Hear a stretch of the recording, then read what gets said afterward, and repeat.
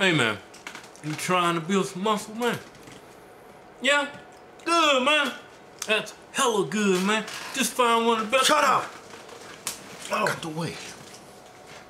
What's up, everybody?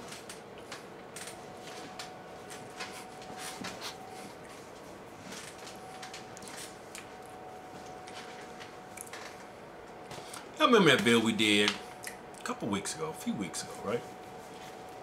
We went to the vitamin shop, picked us up some more creatine. That micronized shit. Some of that micronized shit, right? And I was, when we went to go buy this, our creatine, we was actually gonna, um, we was gonna go with the uh, ProLab. But at the time, they it was fresh out. Yeah. So we went in and bought this shit. At first, I thought I was getting some. I was getting the creatine. Uh, you know, uh, um, what you call this shit? The loading phase. You know, and I felt, I felt like it was volumizing my shit, right? But the strength wasn't coming back like it usually does when you jump on creatine. Right? Yeah, man. Anyway, man. Go back to this cheap ass ProLab shit, man. Yeah, man. And, and That ProLab creatine, man. yeah, and it used to be had that Creapure shit in it, right? That's the holy grail of creatine, I heard. The Holy Grail. But they don't have the Creapure in it. The only time I've ever tried ProLab, they've never had the Creapure in it. That was before I tried it. That's But- some good shit, man. So it's like, man, I ain't seeing nothing from this shit. Yeah. AST?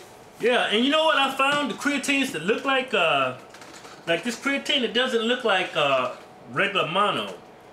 It looks like, It looks like it, flour. it looks like, yeah, it looks like cake flour. this, this is some bro science. Yeah, it looks like flour, you know? But the uh, this creatine, it looks like sugar. Man, the fucking autofocus is on, man. But this is like straight granular, straight sugar. Look like some sugar, man.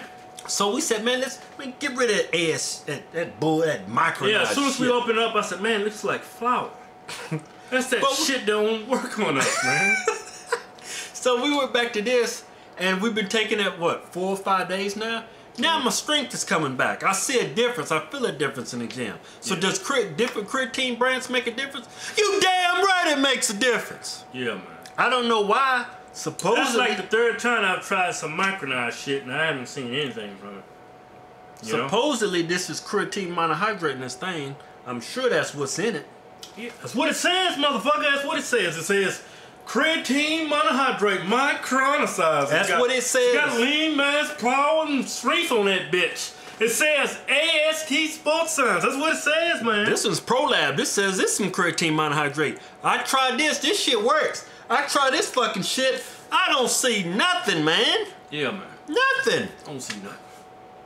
I thought I was seeing something, but man, that's some bullshit right Don't there. see shit from that fucking creatine, man. So different brands do make a difference. And you know what? That brand, man, is what fifty-four dollars for two uh, for a thousand grams. That shit was expensive. Yeah, this shit right here. How much you get two bottles for? What, Twenty bucks? Yeah. So different Got brands, ripped the fuck off, man. different brands do make a difference. It does. Yeah. I don't know why, but I guess there's a lot of shady shit going on out there. But hey, all of this has been just advised.